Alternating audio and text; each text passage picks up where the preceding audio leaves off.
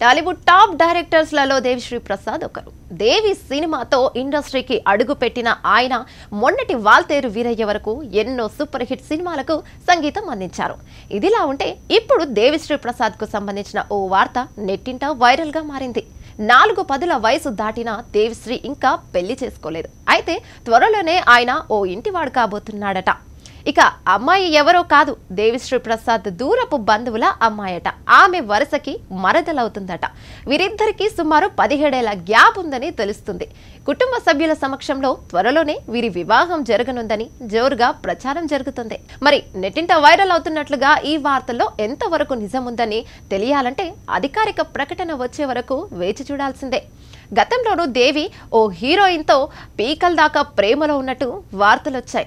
పెళ్ళి వరకు వెళ్ళిన వాళ్ళ రిలేషన్ మూనాళ్ళ ముచ్చటగానే మిగిలిపోయింది. ఇక దేవిశ్రీ ప్రసాద్ అంటే కేవలం కంపోజర్ మాత్రమే కాదు ఎప్పుడు ఫుల్ ఎనర్జిటీతో ఉండే పవర్ హౌస్ హీరోలందరితో మంచి ర్యాపో ఉంది. సినిమాల పరంగా చూడని విజయాలంటూ లేవు.